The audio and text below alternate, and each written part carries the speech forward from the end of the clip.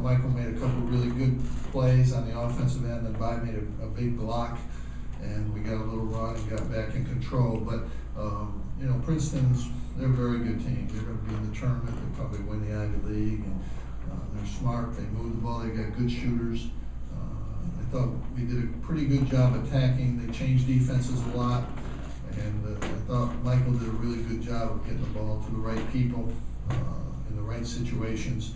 And, uh, you know, we weren't sharp offensively, uh, as, as sharp as we'd like to be, but, uh, you know, James bailed us out early, made, made a couple big shots in the first half to get us some distance.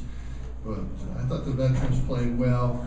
Uh, You know, I think uh, the three inside guys, Baye gives us the best defense, that's why he's in there a little bit more. Uh, Rock is good defensively. Against some teams, if they're gonna play zone, we're gonna play the smaller lineup. James will be in there more uh, with CJ because it gives us another offensive player, another shooter uh, from the perimeter. And, uh, you know, that's, that's what we'll have to do when we see zone defenses or different kinds of defenses anyway. And that, that's, we do have that flexibility. Uh, I thought DaJuan was good. He got some, he got good rebound position out there and, uh, made good plays. He's, he's been shooting, his foul shots are good. He's been shooting the ball well. He's just a little bit too strong. He, it's, he's getting comfortable. It's gonna take some time, but, uh, but he'll get there. Uh, but again, uh, our veterans played, uh, very well defensively. You forced Princeton into twenty-four turnovers. That's, uh, they probably won't have twenty-four turnovers in two games this year, the rest of the year, but, uh, you know, we, we did a good job defensively. They're a very good team and, uh, you know, this was a good win. Talk about James's defense and uh, his Yeah, he improvement. ran into some steals, and it's unusual. What happened there? Accident. Sure, he'll, he'll try to avoid that next game. Jake?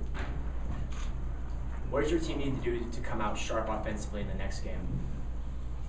Well, I think in this, at this time of the year, you need to get better every game.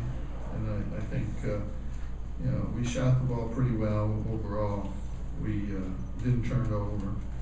Uh, We made a few mistakes, but that's part of early season basketball. And we haven't seen, uh, a lot of zone. And when you see zone sometimes for the first time, don't think we attacked it. A couple times we did attack it well, got the ball in the right places, and in the end, when we needed it, uh, Michael attacked it, and we, we got him in the lane, and he made a couple real good plays, and, uh, CJ finished down low, and I finished one down there, so we, we, played all right, you know, we always can get better. Uh, there's, that's the whole purpose, you're gonna try to get better all the time. Um, Get our young guys more experience as much as we can in game situations as we go through the non-league schedule.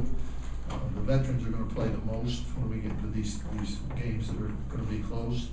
Uh, I think anybody that, uh, you know, any coach that's ever coached, if you got a veteran forward and freshman forward, you're in a tough game, you're gonna go with the veteran. Doesn't say the freshman isn't good, but you're gonna go with the veteran guy.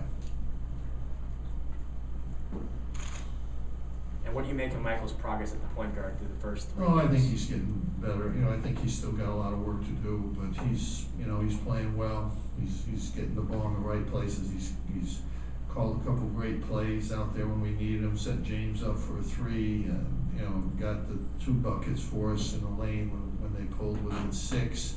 Uh, you know, he's, he's playing, uh, extremely well, his defense has been really good. I think both Brandon and him have played good defense, and Trevor, our guards, have played very well defensively out front. And, uh, you know, I think that's, uh, yeah, that's good. Jim, last year Dion could come off the bench and change the game in, in different ways. Can James be that? Well, James can certainly do that, he can score, that's what Dion did, and, uh, I think James can score, I think Trevor can give us scoring off the bench, he had good looks tonight, you know, he's gonna have games, he's not gonna make them, but he'll, he'll make his share. I think they're good guys to have coming off the bench, and, uh, you know, Baye's a great weapon to have coming in there, play center for you. Uh, we've got good balance, CJ was good tonight the second half, he struggled, he struggled early, but kinda got into position a little bit better in the second half. Is CJ struggling to get looks because teams are paying more attention to him? or- Well, he doesn't get as many looks at the three as he did the four. The four was actually better for him. He got more fifteen foot and in the end looks. He's getting about twenty feet now, and it's, he's not quite as comfortable there. Um, but, uh, you know, he'll, he'll get better. Coach, any comments on the realignment? really Nah, this- let those people play their games. They're twenty years, you know. We say just figure it out, get it all done the next year, and we wouldn't have to think about it. It's gonna all end up getting done someday, but I think they would be able to figure out just, maybe they should just have a draft.